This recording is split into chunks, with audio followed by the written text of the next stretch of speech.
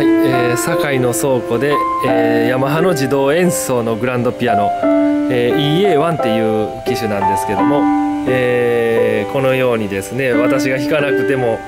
えー、弾いてくれるのでね音を聞いていただくことができますね、えー、小型のピアノなので、えー、お家にも置きやすいかなと思いますね。1 5 2センチぐらいですのでね。はいえー、この機械は、えー、最新のものに、えー、10万円足らずで入れ替えできますし、え、この状態ででもですね、え、自分で、え、例えば連弾のパートを、え、上のパートを録音しとけば、え、下のパート、えー、上のパートを、え、自動演奏しといて下のパートを弾くとかねそういうこともできますね面白いですねこれ。ベースはね A1 なんですけどもなかなかあの A1 にしてはいい音してますね